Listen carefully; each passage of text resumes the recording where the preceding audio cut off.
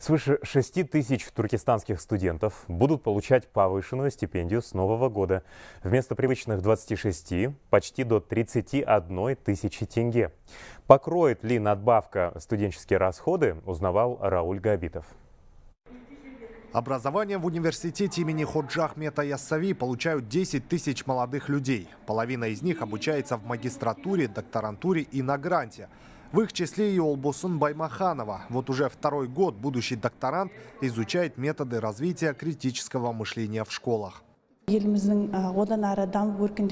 Раньше моя стипендия составляла 98 тысяч тенге, а сейчас 120 тысяч тенге. Это дает мне финансовую независимость от родителей, и я могу полностью погрузиться в научную работу.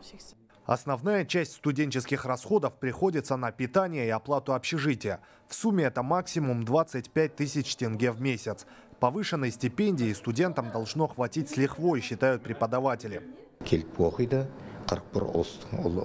Питание в нашей столовой максимально дешевое. С учетом этого стипендий молодым людям должно хватить не только на еду, но и одежду. Кроме того, в ближайшее время ожидается увеличение финансирования научной деятельности. Это еще одна положительная новость для наших студентов, ведь у них появятся новые возможности для обучения и работы.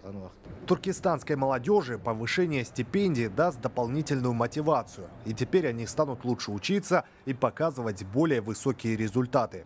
Рауль Габитов, Самат Нагашпекула, Хабар 24, Туркестан.